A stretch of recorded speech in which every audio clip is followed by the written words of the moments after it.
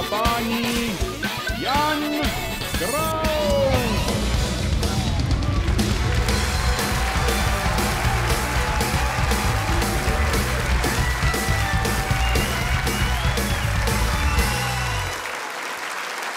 Dobrý večer, děkuji od děkuji. Dobrý večer, děkuji.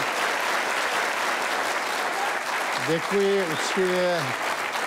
Děkuji uctivě, dobrý večer, všechno nejlepší v novém roce. A když pak je vám víc než 30, tak všichni, co vám přeju, tak říkají všechno nejlepší v novém roce a hodně zdraví. Zdra, hlavně zdraví.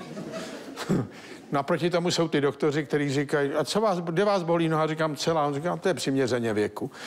No, mimo jiné, když jsme u toho, nás navštívila známá, je to starší dáma, ale velice o sebe pečuje, vypadá výborně.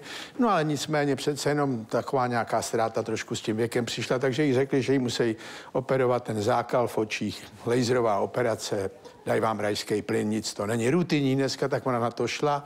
Říkala, že to proběhlo moc dobře, doktor byl velice milej, opravdu jí dali ten rajský plyn, říkala, že si ho chce kupovat i domů.